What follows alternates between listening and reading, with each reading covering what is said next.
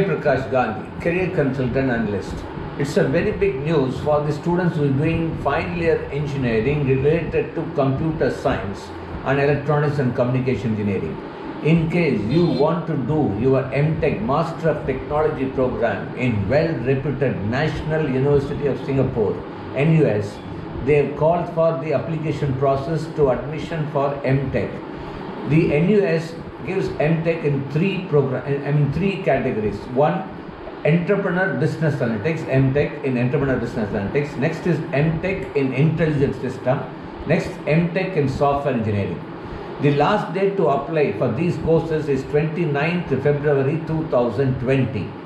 In fact, it's a great opportunity because National University of Singapore is one of the top 50 universities in the world and ranked in the top 5 in Asia related.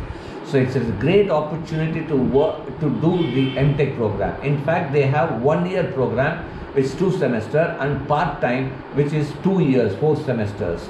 So it's a great opportunity. In fact, if you want to know about more about this, you have to attend a, a program in Chennai, the introduction program in Chennai on 11th January. They are going to conduct. In Hyderabad, they are going to conduct in 14th January. In 16th, 16th January, they are going to have it in Mumbai. 8th January in Bangalore, 21st January in Delhi, and 23rd January in Calcutta. And they have an entrance exam also. So you can really, whether you, you can find out whether you are pre-qualified to these programs. So it's a great opportunity, whether you get it or not.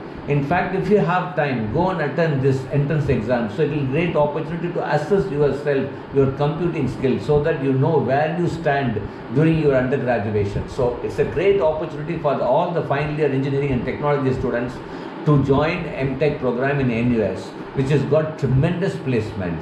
So again, I tell you, there's a possibility to, if possible, go to Chennai on 11th January. The more details are available in NUS portal itself.